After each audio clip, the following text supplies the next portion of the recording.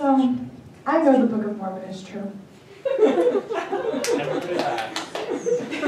and I know it because I love the story of Lehi's dream. And I never love hearing about anybody's dreams, ever. uh, so that's a miracle to me. Uh, like, can you imagine if that dream has been re- had been recounted by like anyone besides like a true prophet of God? It'd be like, guys, guys, guys, guys. I had the craziest dream last night. No, listen, you were in it. You were in it. Listen to me. so we were in this big field, right? And there's like this weird river and like weird jinxy mists of darkness. And then there was like this glowing tree with all this magic fruit. And like nobody said it, but we all kind of knew that if we ate it, we'd like live together forever or something.